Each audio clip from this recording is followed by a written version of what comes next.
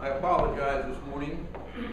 My voice is leaving me for some reason. I have a frog in my throat and, and I can't speak as loudly as I do normally. And uh, to my wife, that's probably a good thing, you know. but uh, anyhow, we'll try to get through this. Today marks the beginning of our journey through the season of the church year known as Advent. It's a relatively short period of time, approximately four weeks in length, and it culminates in the incarnation of our Lord Jesus, the Christ. Now we all know that the first advent, or the first coming, occurred some 2,000 years ago. And now, now we look forward with great anticipation to the second advent when he will come again to judge mankind. And this season is a time of preparation for that coming. In fact, the preparations have already begun. Look around you. The church is now adorned in greenery, with wreaths being placed on the doors and the Advent wreath in place, and the color purple, representing the royalty of Christ, is prevalent throughout the church. A few minutes ago, we blessed and lit the Advent wreath, which symbolically represents the light of Christ coming into the world to dispel the darkness of sin. Even the form of the wreath, being circular, no beginning, no end, it symbolizes the eternity of God and the everlasting life found in Christ. As we light the four candles, one each Sunday, we are spreading the light of Christ throughout the world. The three purple candles, they symbolize the prayer, the penance, the preparatory sacrifices undertaken during this season as we prepare ourselves for his return the rose colored candle, it reminds us that his coming is near. And the white candle in the center of the wreath represents the arrival of Christ and is lit on Christmas Eve. It's a beautiful and meaningful tradition, the Advent wreath. But more, more than the symbolism of the ad, uh, Advent wreath, the season of Advent, the season, is far more important. Throughout the Bible, we are told by Christ Himself that at the appointed time, He will return to earth to judge mankind. In Matthew 16, verse 27, it is written, the Son of Man shall come in his glory with his angels. And in Luke 21, verse 27, we read, They shall see the Son of Man coming in a cloud with power and great glory. And these are just a sampling of the passages. The point is that the Holy Scriptures are replete with references to Christ's return to earth. Today, as we celebrate the Mass, each one of us will acknowledge his ultimate return. For example, in today's collect, we pray, Almighty God, give us grace that in the last day when he shall come again. When he shall come again, we may rise to life immortal. In the Nicene Creed, where we just confessed our faith, we said the word, He shall come again to judge both the quick and the dead. And we Christians, we believe this. There is no doubt that he will return, and we will experience it. Whether it be this year or a thousand years from now, we will one day stand before our Lord and Savior and give an account of our lives. So, how does one prepare to meet God or his Son, Jesus Christ? Well, the first thing we might do is examine our lives. Where do we stand right now, at this moment? Have we been weak in certain areas? If you are like me, certainly this is so. And believe me, I try. But at times I fail to be the person Christ would have me to be. And I imagine most of you are the same. Perhaps, for example, your faith falters at times, particularly when things are not going so well. They are going badly. And you cry, Lord, where are you? Well, when this happens, you must strive. Strive to renew your faith, knowing that God is with you. He will never abandon you. I once read a definition of faith, and there are many, but this one said that faith is believing in something or someone that you cannot see, you cannot hear, you cannot touch, and yet you somehow know it exists. It is there, it is present.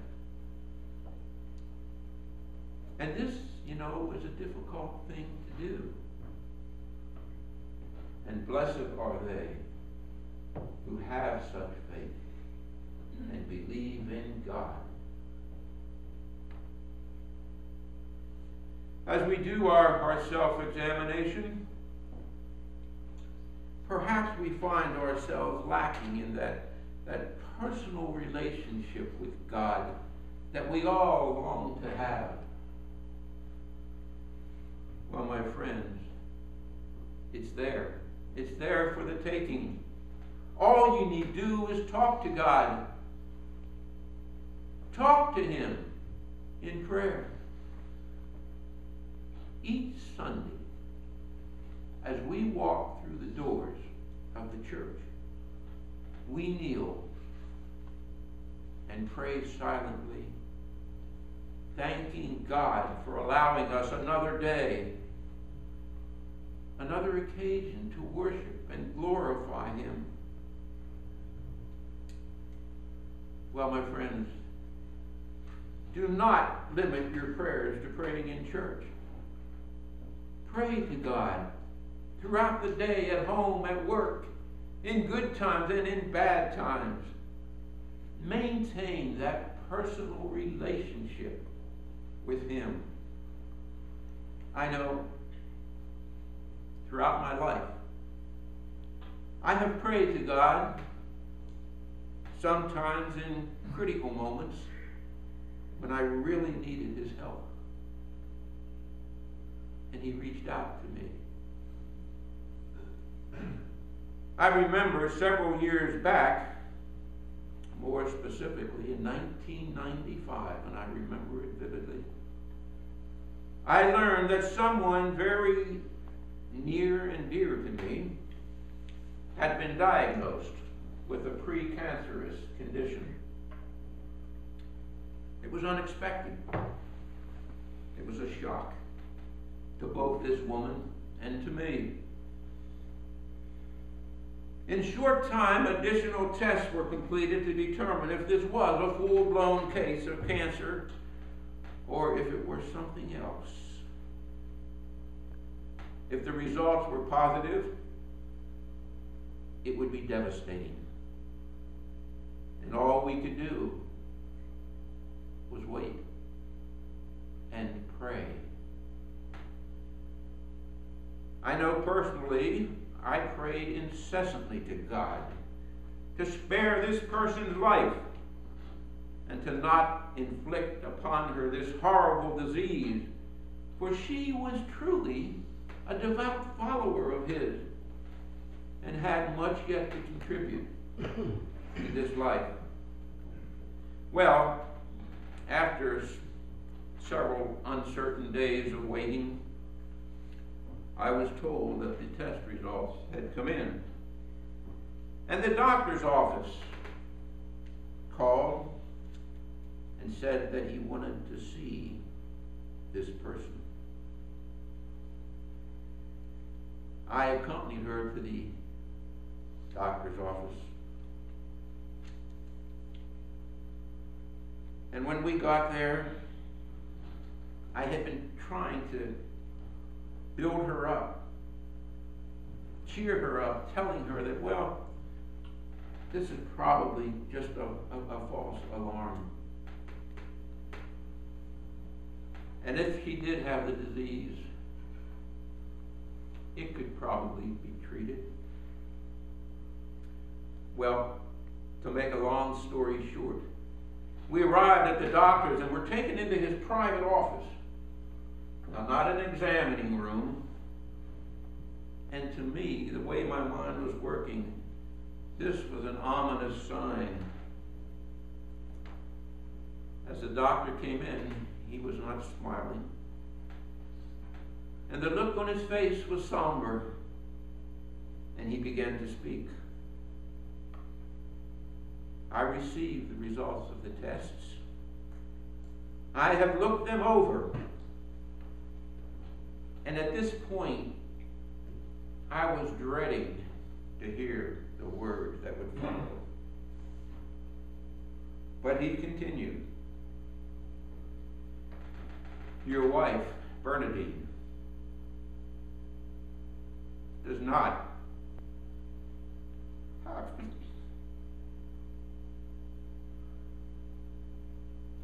does not have cancer.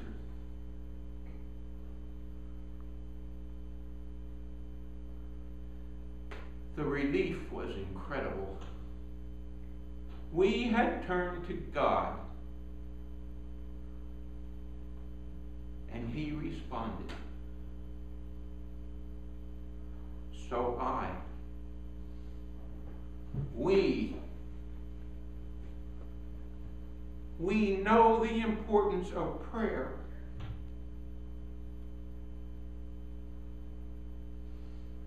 And that personal relationship with God.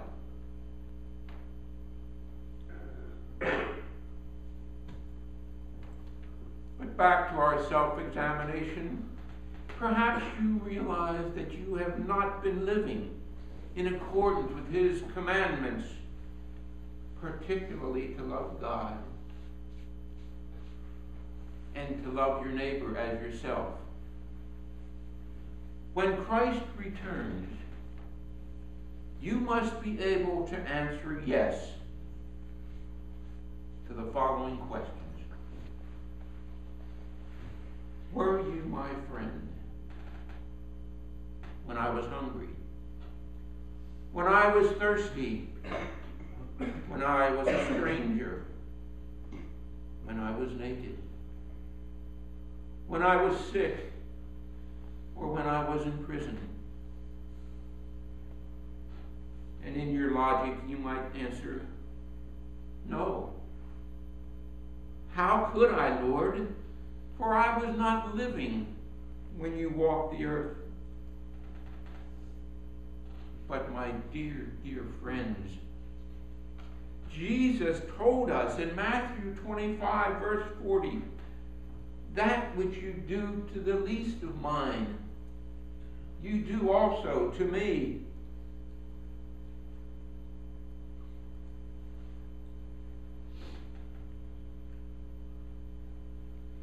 From that perspective, are you able to answer yes?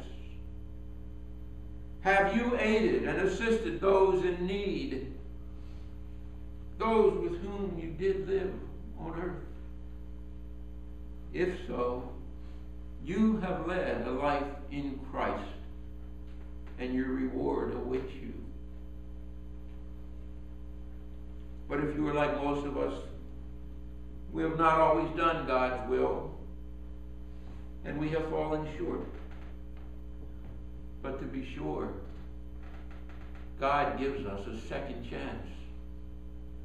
He tells us, if you have sinned, if you have failed to do my bidding, come to me with a contrite heart.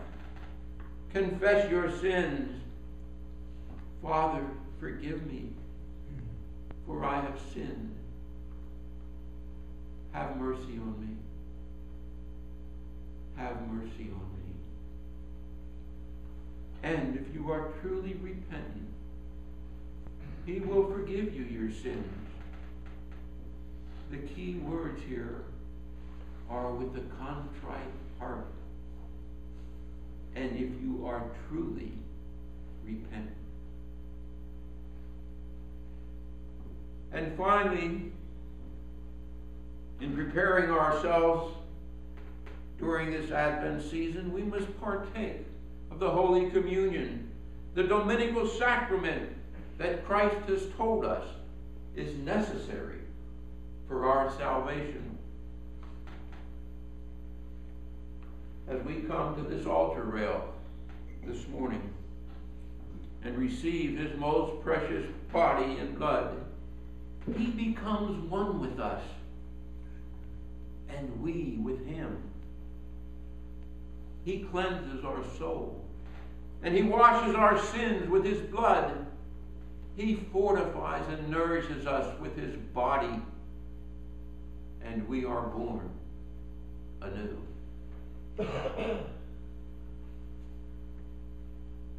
so, my brothers and sisters in Christ, as we proceed through the second Advent season,